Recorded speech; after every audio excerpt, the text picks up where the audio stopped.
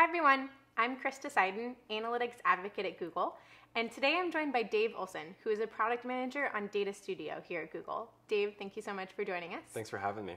And today, Dave is going to talk to us about how you can use templates in Data Studio. So with that, I'm going to go ahead and hand it on over. Yes, so as Krista mentioned, we just recently launched templates, which makes it very easy to get started um, in Data Studio. Let me walk you through how easy it is. So on the home screen, we have seven templates. Uh, we have templates for Google Analytics, AdWords, Sheets, and YouTube data. So to use a template, all you have to do is come in here, click on the, uh, for instance, this one is the Google Analytics template. So here we have uh, a professionally designed template that our designers created along with some sample Google Analytics data.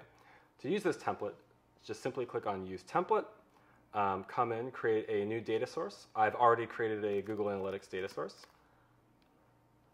Uh, click Create Report. And what's going on in the background right here is we're going through all of the different charts and graphs and we're replacing the sample data uh, with your data. So now we have this sample report and uh, we actually can edit this so we can take out the sample report.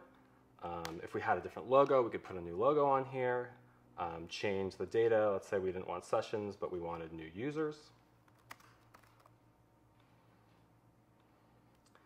And just like that, we have a new report um, with our own data in it that we can now share with our users. And the coolest thing actually is that it's not just limited to these templates that we've created, but any report can now be a template. Um, so one of my colleagues uh, created this Data Sourcerer Google Analytics dashboard. And so if I wanted to use this dashboard with my own data, all I would have to do is click File, make a copy, uh, swap in my data, and create a new report. And now, um, uh, this report that Data Sourcerer has created, um, I am now using with my own data. So any report that's created with an organization now can simply be swapped in with new data. That's really cool. Uh, Dave, you showed us how to use the seven templates that are available already in Data Studio, as well as how to create your own template by making a copy of any dashboard that you love and want to reuse again. So thank you um, for joining us today, and thank you guys for listening.